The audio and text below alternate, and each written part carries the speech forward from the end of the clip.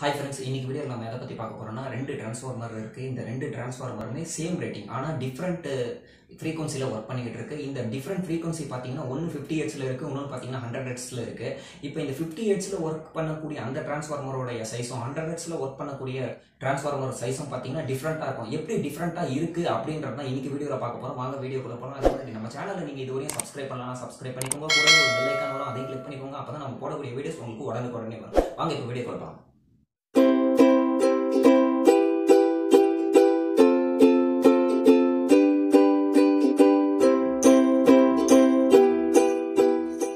இந்த கொஸ்டினுக்கு உண்டான ஆன்சரை தெரிஞ்சுக்கிறதுக்கு முன்னாடி இந்த ரெண்டு டிரான்ஸ்ஃபார்மர்லையும் இருக்கக்கூடிய அந்த காமனான விஷயத்தை என்னென்னு தெரிஞ்சுக்கணும். அப்போ ரெண்டு டிரான்ஸ்ஃபார்மர்லையுமே காமனாக இருக்கக்கூடிய விஷயங்கள் பார்த்தீங்கன்னா ஒன்று வந்து கோர் மெட்டீரியல் பிரைமரி வோல்டேஜ் அப்புறம் செகண்டரி வோல்டேஜ் அப்புறம் கேபிஏ ரேட்டிங் அதாவது டிரான்ஸ்ஃபார்மருடைய ரேட்டிங் இது எல்லாமே பார்த்தீங்கன்னா டிரான்ஸ்ஃபார்மரில் வந்து காமனாக இருக்கக்கூடிய விஷய விஷயங்கள். அதாவது ஃபிஃப்டி ஹெட்ஸில் ஒர்க் பண்ணக்கூடிய டிரான்ஸ்ஃபார்மராக இருக்கட்டும் ஹண்ட்ரட் ஹெட்ஸில் ஒர்க் பண்ணக்கூடிய டிரான்ஸ்ஃபார்மராக இருக்கட்டும். இது ரெண்டுத்துக்கும் காமனாக இருக்கக்கூடிய விஷயங்கள். இது எல்லாமே பொதுவாக இருக்குது இப்போ இந்த டிரான்ஸ்ஃபார்மரோடைய சைஸை நம்ம தெரிஞ்சுக்கணும்னு பார்த்தீங்கன்னா அதுக்கு இஎம்எஃப் ஈக்குவேஷன் நமக்கு தெரிஞ்சே ஆகணும். அப்போ இஎம்எஃப் ஈக்குவேஷன் பார்த்தீங்கன்னா ஃபோர் பாயிண்ட் ஃபோர் ஃபோர் எஃப்ன்றது ஃப்ரீக்வன்சி இது வந்து ஃப்ளக்ஸு அதான் பையன்னு சொல்லுவாங்க என் வோல்ஸ் இது வந்து டிரான்ஸ்ஃபார்மர் ஈக்குவேஷனுக்கு e-, உண்டான ஃபார்முலா இப்போ இந்த இதில் பார்த்தீங்கன்னா இதே தான் எழுதியிருக்கேன். ஆனால் இந்த இந்த ஃபார்முலாவில் பார்த்தீங்கன்னா ஃபிஃப்டி எஃப்க்கு பதில் வந்து ஃபிஃப்டி ஹெட்ஸில் ஒர்க் பண்ணக்கூடிய ஒரு டிரான்ஸ்ஃபார்மரை போட்டிருக்கேன். இப்போ இந்த இது பார்த்தீங்கன்னா ஃபோர் பாயிண்ட் ஃபோர் ஃபோர் அந்த fifty hertz by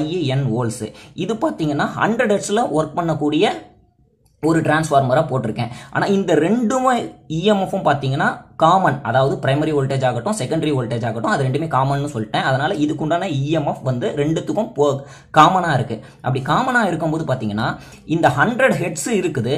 அப்போ ஹண்ட்ரட் ஹெட்ஸு இருக்கிறதால ஒரே இஎம்எஃப் வரணும்னும் போது இங்கே இருக்கக்கூடிய நம்பர் ஆஃப் டர்ன்ஸ் பார்த்தீங்கன்னா குறைச்சி ஆகணும். இப்படி நம்பர் ஆஃப் டர்ன்ஸை வந்து நீங்கள் குறைக்கும் போது ஆட்டோமேட்டிக்காக ஃப்ளக்ஸும் குறையும். அப்போ ஃப்ளக்ஸு குறையிறதால இஎம்எஃப் அப்போ தான் வந்து உங்களுக்கு சேமாக கிடைக்கும். அப்போ இங்கே வந்து ஃப்ளக்ஸு குறையுது. இதுதான் ஃப்ளக்ஸோட ஃபார்முலா இப்போ இந்த ஃப்ளக்ஸ் வந்து எதை பொறுத்து இருக்கும்னா ஃப்ளக்ஸ் டென்சிட்டி ஏரியா பின்றது ஃப்ளக்ஸ் டென்சிட்டி ஏன்றது வந்து அந்த டிரான்ஸ்ஃபார்மர் கோரோட ஏரியாவை பொறுத்து தான் இந்த ஃப்ளக்ஸ் வந்து அமையும். சரி இப்போ இந்த ஃப்ளக்ஸுக்கு பதில் என் எப்படி எழுதியிருக்கேன்னு பார்த்தீங்கன்னா பிஏன்றது இங்கே போட்டிருக்கேன். இப்போ இந்த ஃபர்ஸ்ட் ஈக்குவேஷன் இருக்கு இல்லையா? இந்த ஃபர்ஸ்ட் ஈக்குவேஷனில் இந்த ஃப்ளக்ஸுக்கு பதில் அதாவது இந்த பைக்கு பதில் அங்கே என்ன சப்ஸ்டியூட் பண்ணியிருக்கேன்னா பிஏன்றது சப்ஸ்டியூட் பண்ணியிருக்கேன். இப்போ இதிலிருந்து நம்ம எஃப்ஐ வந்து வெளியே எடுத்துக்கலாம். இப்போ நீங்கள் எஃப்ன்றது வந்து ஃப்ரீக்வன்சி இப்போ ஃப்ரீக்வன்சியை வெளியே எடுத்துக்கலாம். அப்போ ஃப்ரீக்வன்சியை நீங்கள் வெளியே எடுத்து எடுக்கும்போது ஃப்ரீக்வன்சியை எடுத்துட்டீங்க. ஃப்ரீக்வன்சி எடுக்கும்போது இஎம்எஃப்ன்றது உங்களுக்கு மேலே வந்துடும் அப்போ மீறி பார்த்தீங்கன்னா இந்த four point four four flux density area N சரிங்களா? இதெல்லாம் பார்த்தீங்கன்னா உங்களுக்கு கீழே இருக்குது இப்போ நீங்கள் வந்து ஃப்ரீக்வன்சியை இன்க்ரீஸ் பண்ணுறீங்க இப்போ ஃப்ரீக்வன்சி அதாவது ஃப்ரீக்வன்சி இன்க்ரீஸ் பண்ணுறீங்கன்னா ஹண்ட்ரட் ஹெட்ஸில் ஒர்க் பண்ணுதுன்னு எடுத்துக்குவோங்க. ஃபஸ்ட்டு ஹண்ட்ரட் ஹெட்ஸில் ஒர்க் பண்ணுது. அப்போ ஹண்ட்ரட் ஹெட்ஸில் ஒர்க் பண்ணும்போது அதனுடைய ஏரியா பார்த்தீங்கன்னா இன்வெர்ஸ்லி ப்ரொபோஷனலாக இருக்கும். அப்போ இன்வெர்ஸ்லி ப்ரொபோஷனல்னும் போது ஏரியாவோட ட- அந்த டிரான்ஸ்ஃபார்மர் ஏரியா வந்து கம்மியாக்க முடியும்.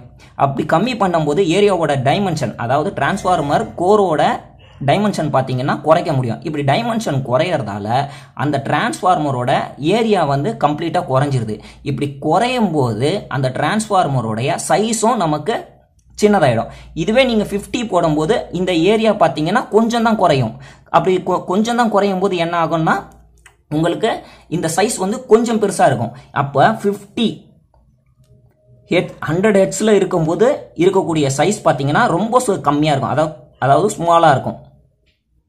எதை கம்பேர் பண்ணும்போது பார்த்தீங்கன்னா ஃபிஃப்டி ஹெட்ஸ் அப்போ ஃபிஃப்டி ஹெட்ஸ் வந்து இதை விட கொஞ்சம் பெருசாக இருக்கும் சைஸு அந்த டிரான்ஸ்ஃபார்மர் சைஸ் இந்த தகவலோட நம்ம அடுத்த வீடியோவில் சந்திக்கலாம். பாய்